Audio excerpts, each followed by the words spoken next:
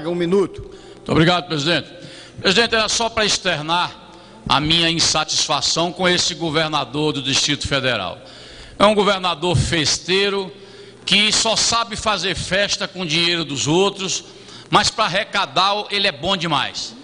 Nos últimos três meses, ele arrecadou pela CAESB, que é a Companhia de Água e Esgoto de Brasília, mais de 8 milhões de taxa extra, ou seja, explorando o nosso consumidor de Brasília, e Brasília está sem água.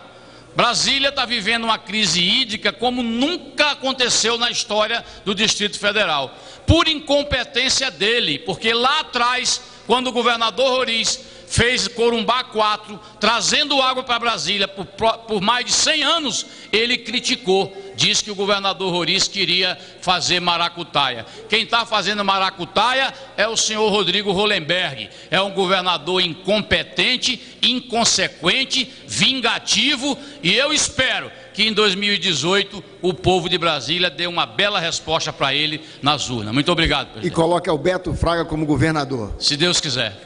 Um minutinho.